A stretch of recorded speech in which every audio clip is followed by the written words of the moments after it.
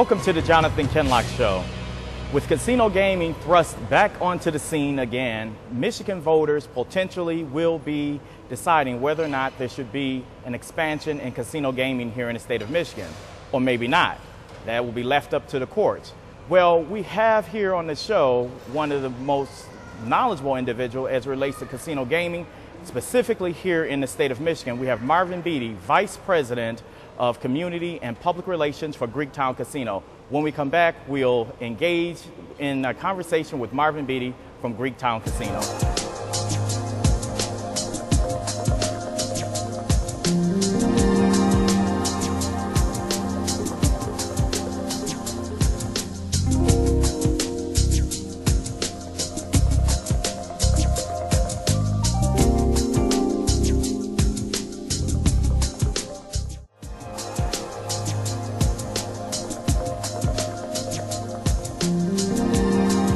Welcome back to the Jonathan Kinloch Show.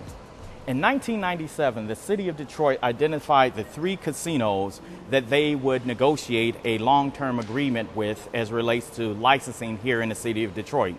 Since then, a number of the original investors have been replaced, as well as you've had a number of these agreements changing from their initial introduction to the citizens of Detroit as it relates to the entertainment, size of hotel, and the impact on the economy, lo- uh, economy locally here in the city of Detroit. Well, since the, the construction of the casinos and the final um, opening of the last uh, casino uh, under these development agreements, the Greektown Casino, there is now a move among some business individuals here in the state of Michigan to expand casinos in the city of Detroit as well as the state of Michigan. We have here in the studio Marvin Beatty, who is Vice President of Community and Public Relations for Greektown Casino. How are you doing? I'm doing great, Jonathan. Good morning. Thank you for having me. Well, you have um, been, you're one of the most uh, well knowledgeable individuals as relates to the issues surrounding Greektown casinos here in Michigan, but especially here in Detroit. We currently have the three casinos that are in place, and you have a group of investors who've decided to seek further expansion of those casinos operations here in the state of Michigan.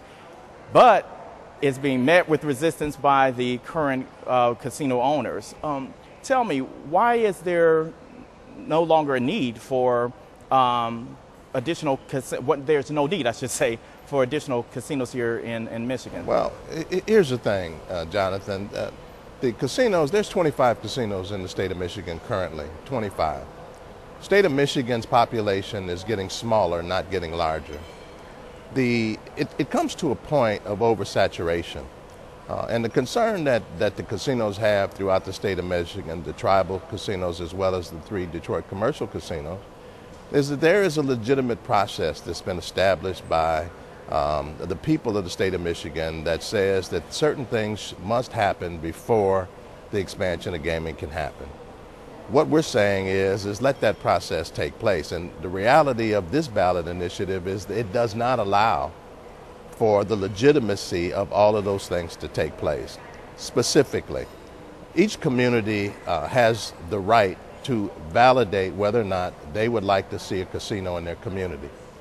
What this ballot proposal calls for is it forces, based on somebody's investment, on some big shooter's investment, to put a certain amount of money in, they can put a casino based on whatever address they want.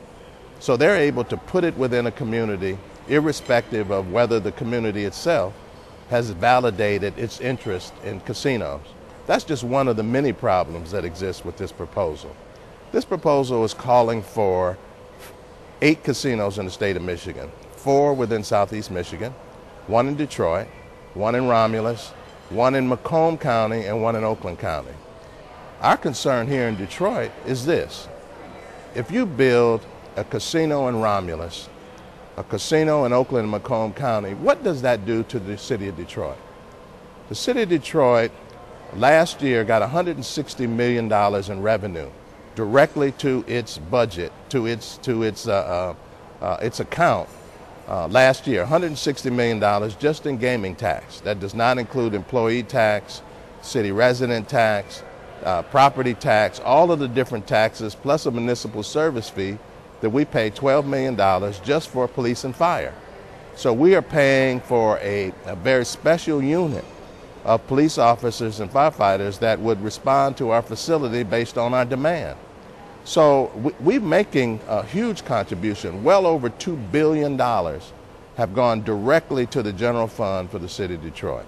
That has been one of the selling points uh, that the uh, investors who are trying to expand casino gaming here in the state of Michigan, that's one of the selling points that they've been using, that it would help the um, the, distressed budgets within these communities that they're trying to um, locate these casinos.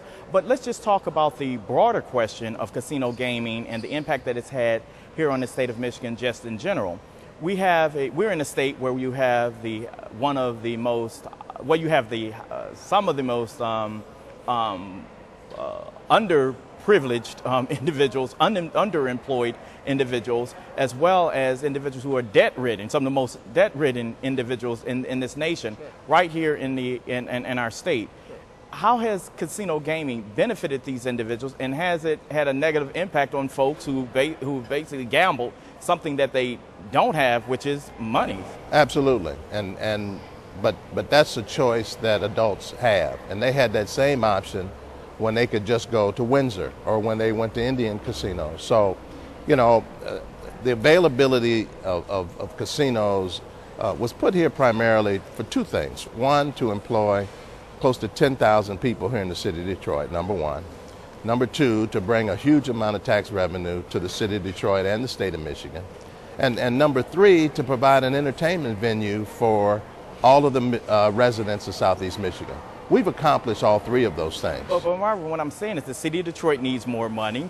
The uh, state of Michigan needs more money, and all of these communities around the state need more money.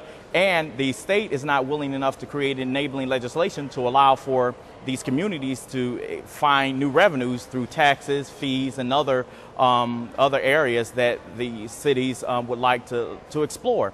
Um, so casino gam- gaming, I mean, that, that's an option, like you said, uh, wouldn't more be better as far as these communities would be concerned, as well as um, more be better for the for the customers? Well, it, it, conceivably, you could say yes. In reality, the answer is absolutely not, and here's the reason: the uh, Southeast Michigan population has not expanded over the last 13 years. Now that the casinos have been open, the projection back in 1996 of what the revenue would generate in the state in the city of Detroit from the three casinos, which is now really four because we have Windsor, would be approximately 1.6 billion dollars. Well, since then, we have never achieved a 1.6 billion dollar revenue, and between the four casinos in Detroit. So we, so, we, have to we have to take a break, okay. and we're going to continue this discussion on the uh, on the other side. This is Jonathan Kinloch, Marvin Beatty of the Greektown Casino, and we will be right back after this break.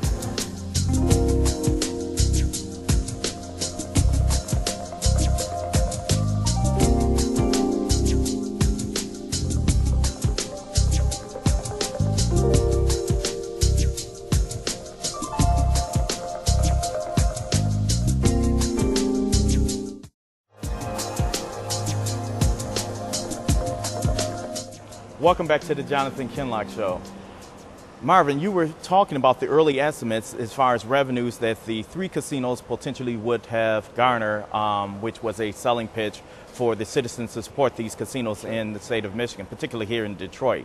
And you say that you have not met that um, those estimates. You said 1.6. There's other sources that say the estimates were of revenue potential was between 1.2 and 2 billion dollars we all know that developers initially, early on, to get things through, you know, they fluff them doggone numbers. Well, you know, I think that realistically, the impression was that those were real, those were legitimate numbers based on the population, based on what they thought. As, as Michigan uh, has the greatest number of people going to Las Vegas of any state in the, in the, in the country. So, so those estimates were based on some legitimate, you know, some measurements um, that would ultimately get you to that number. But the reality of it is, we haven't reached that number, and we haven't reached that number, and we won't reach that number because one, the population's not there. Two, the economy doesn't meet that expectation. And, and the reality of this is, is if they add four new casinos to southeast Michigan, to within 20 miles of the city of Detroit. There is no new population. The people who have never attended casinos or, or visited casinos in, in, in Detroit or in Windsor over the last 13 years, what's going to make them go now? But let me let me ask: Is is some of this um, impact that you're negative impact you're having on your revenues self-inflicted? Because early on there was a lot more be- bells and whistles that were attached to these casinos, and somehow along the change in administrations, we see we saw the development agreements and the promises that were um, included in the early stages of this um, conversation shrink, shrink by administrations to the point that you uh, reduce the number of, of hotel um, rooms, the bedroom, I mean, the hotel rooms, as well as um, that directly would impact what profits as, as well as uh, gaming uh, uh revenue. Revenue. Well, the reality of is, is this: it was clear that an 800 room hotel or three properties would only kill the existing hotel stock that exists today. Michigan has the largest, the highest uh, increase in hotel usage of any place in the country to date. And in part, that's because others have been allowed to, to maintain themselves. The Book Cadillac has come online, and there's a number of others that have come online. The Doubletree. All of those are doing better numbers now than they've ever done. But I'm saying when the casinos were, when the city council and the mayor, the previous administration, Kilpatrick administration and council at that time, modified those development agreements, Book Cadillac was not online. That's correct. And so what I'm saying is, could those rooms that are now being um, filled over at Book Cadillac been filled and uh, to the benefit of, uh, the, of the casinos? Well, the reality of it is this. At the time that that deal was struck between the city administration, the city administration was in a financial bind that was about to take them under. Head over the barrel. Head over the barrel. we gave them $100 million we gave them $33 million apiece in order to help the city get through its financial crisis. That was, that was what we did in order to reduce the number of hotel rooms. All I'm saying to you is this numbers don't mean anything if you don't have heads to put in the beds. And where we are now is that other entities, the community, the downtown community is better today as a result of existence of other hotels not just casino oh. hotels. Of course so it I'm is. Saying, I'm, I'm saying what I'm saying. Oh, y'all, you know, but what I'm saying is the, but in the in the broader scheme of things, that you all potentially could have benefited from those additional rooms. But also, let me say, I know you gave that infusion of cash to the city of Detroit, but guess what? It also gave you a, a long-term agreement with the uh, with the city of Detroit as far as the license agreement. How we long had 30, We had 30 years to 30 begin years. with. We had 30 years to well, start what with. What I'm saying the is original agreement called well, for 30 original, years. That's what I'm saying. The original yeah. agreement. But what I'm saying, so in other words, the city was basically calling down or calling in um, some expected revenue in, a, in, an agreement that some view was too long in the first place. No, 30 they, years. it wasn't expected revenue. The city has continually down the road, down the road, continually gotten its revenue, and and all I'm saying to you is, is that we would have not been able to fill 800 hotel rooms. Okay. We would have not been able to fill that. So the reality of it is, for the greater good, there's a greater good issue here that, that, that many folks don't want to, to acknowledge. The greater good is that downtown Detroit is better today than it would have been had we put these big monstrosities up here and not been able to fill them and kill the rest of the opportunity and the vitality that is beginning to create itself downtown. Every hotel is being filled up.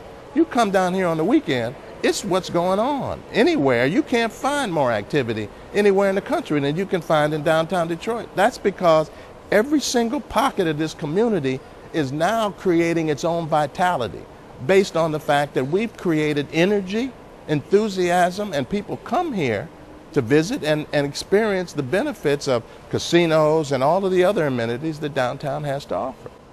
Well, we're going to take a break, and when we come back, I want to have a conversation about the future of gaming here in the state of Michigan. You have Racinos that was, uh, which was proposed a few years ago and was shot down, and other uh, gaming uh, expansions that are taking place around the country. Is that even possible here in the state of Michigan? So we'll continue our discussion with Marvin Beatty on the other side of this break.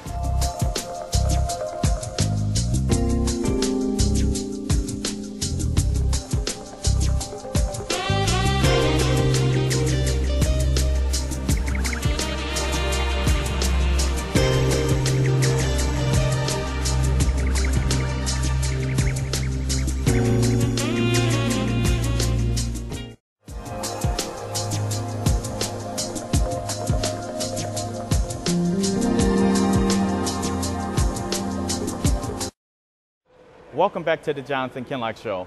Marvin, the opportunity for expansion uh, as relates to gaming here in the state of Michigan is limited somewhat because unless the voters have their say on certain aspects of gaming, um, it's not the lottery commission nor the state state legislature is able to expand gaming here in the state. That is one of the things that the uh, petitioner, the folks who gathered the petition to amend the Constitution said that they were doing. They were trying to correct some of the ills that was in the initial um, amendment to the Constitution establishing casino gaming here in the state. You have um, slot, slot machines being um, desired by horse, horse, horse uh, race organiza- racing organizations, as well as the um, prohibition on co- internet gaming, where it is uh, expanded and working in other parts of this country. So, is there a need to take a look at casino gaming, or no, gaming as a whole within the state constitution? Well, first of all, uh, internet gaming in the United States is illegal. Uh, if you're betting on an internet, you are betting illegally. Um, there is a proposal within uh, the United States Congress to add, to legalize uh, internet gaming in, in, in this country. Um, and the state of Michigan. When I, when I say states, I'm talking about some countries. Right. right. Well, yeah, it's, right. yeah. Around the world, it's it's it's legal. In in the, in the United States, it's illegal. Right, correct. Um, but states around the country are looking to approve internet gaming. Michigan is one of those that will look to approve, improve, or add internet gaming to this overall picture. So gaming is expanding uh, in spite of what um, these proposed casinos are saying. It's expanding in a way that allows people to. There is a casino within two hours of any citizen in the state of Michigan. Two hours. Now, how many more casinos do you need, and what value does that bring? The reality of this is, is that you're moving money from one pocket to the other. You're not going to expand the number of employees because we're going to lose employees, and the tribal casinos are going to lose employees as a consequence. We just added Toledo and Cleveland. So we've added now. So the reality of this is, within, if this proposal was to pass, we'd have nine casinos within 50 miles of the city of Detroit. Nine. Now, tell me where in the world is that going to benefit the people who you talked about, those who don't have jobs? I'm saying to you that the investment world is not going to put that kind of money uh, in a proposal. Well, what I'm saying is these individuals who uh, gathered the petitions, who are seeking for the Supreme Court now to intercede and making sure that this make the ballot in November, they're saying that they have investors, they have billionaires who are willing to invest their money into these casinos. So that that is a question um, that these individuals are saying that they have basically um, answered. The reality of it is, doesn't the state, doesn't the people in these communities ha- have the right to know who those people are before they vote for it? Don't, shouldn't they have some understanding, just like they did in, in, in the city of Detroit? They were vetted, that they were approved by a, a, a group of people and they were vetted Uh, in the investors? isn't that, that's not changing. Is, is, the, is the proposal, would that modify the licensing requirement that's currently in place? Yes, it is. Okay, because explain. because what what this what this would allow is these people would automatically have a casino in the state of Michigan automatically by virtue of the vote. But, would, but wouldn't, I believe, wouldn't this speak to, this amendment speak to the locations? But you're saying that this amendment would allow, for, would circumvent the responsibility of the state to vet individuals Absolutely. from the. Absolutely. Okay. Wow. Absolutely. And, and, and that's the problem with this situation. There are so many problems. And many of these people here in Detroit are talking about an African American casino. Look, Well, well, well no, no, no, you, you early on, the when it was first introduced and to get the, the sales pitch for Detroit was having um, minority participation. Absolutely. We And have the, I supported the- that, we and I the- still support that We have the blackest city in this nation that has the brokest group of African Americans, and it makes no sense with all of the with the billions of dollars that is basically um, being spent in this community and for the most part, we don't own anything. We owned, had interest in a major um, gaming um, operations or gaming operations, and they were booted out. no, they weren't booted out, they were paid out. They were booted out with a buck. Booted out with a Because some of the folks did not want to leave. Well, so they say, but they took the money. That's true. So they say they. So now they're back again to do the exact same thing. I, I question whether the legitimacy of these individuals who are looking to do the same thing under the guise of an African American owned casino, when the reality of it is they themselves don't have the economic wherewithal to produce from, that. From, from, what, from, my, from my standpoint, when uh, look, the bottom line is I agree with you. It's all about the buck for Sure. the folks who are investing in it. But we have to have the conversation about creating environments and creating opportunities for minorities, in particular blacks in the city, to be able to begin to own things. They're, they're, they're, part of the sales pitch initially was that these casinos was going to create a pocket or a pool of money to That's allow right. for businesses That's to right. um, to open and to be able to um, start, you know, startup money. There was startup money and, that it- was available, and, and then that, that, has was happened. reduced. And that's happened. And that has Can happened you tell me, give me an example of some businesses that benefited from that pool of money? Women's Economic Group uh, are, are, is one that. I'm talking about one specific business that came to No, this that's what I, that's that is one specific business. That's the name of it. Okay. Women's Economic Group. Oh, that's okay. just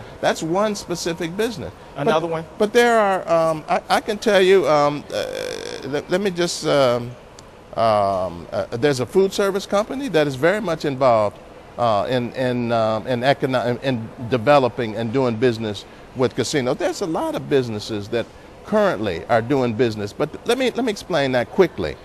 They know the Michigan Gaming Control Board is the licensing entity for this venue, not the casinos. The Michigan Gaming Control Board are the ones that determine whether or not these individuals can be licensed in order to do business. They so you apply. said that changed. So you're saying that changes no, it, under that proposed? absolutely. Uh, okay, so Absolute- I don't. I did not. I don't recall them eliminating it. But Well, it, it doesn't eliminate the Gaming Control Board, but what I'm saying is, based on those African American owned businesses that are participating in the gaming industry today, they must be vetted through the Gaming Control Board. Correct. We, as as as um, uh, casino owners, are continuing to press businesses to continue to apply for licenses so that we can do business. We have a commitment that we've made that a, a percentage of our business, 50% of our employees are all Detroiters. 33% of every single dollar that we spend has to go to Detroit-based minority-owned businesses. We look is for that those is- people. that's a promise made? Is that a promise It's- being kept? And it's a promise kept. It's a promise kept. And we have measurables that can show you that we're doing all of those things to make sure that we live up to our commitment. And as much as these casinos were established by you know public support and public initiative, is there an annual report given um, to I To the city of Detroit, to, To the, the to, to Detroit City Council. that's available to the public? Absolutely, it's available to Well, the if public. it's given to council, it's available to the public. Absolutely. So, I mean, look, our books are open. We Well, don't we're, like we're, we're, we're out of time. This this is a great conversation. It I'll is. basically, It I'll is, definitely be reaching back out to you all Good. for an update. I know of no safe repository of the ultimate power of society but the people. And if we think them not enlightened enough, the remedy is not to take power from them, but to inform them by education. That's what I hope I do here each week on the Jonathan Kinloch Show, educate you on all of these issues that affect us. We'll be back with you next week, same time, same station. Have a great week.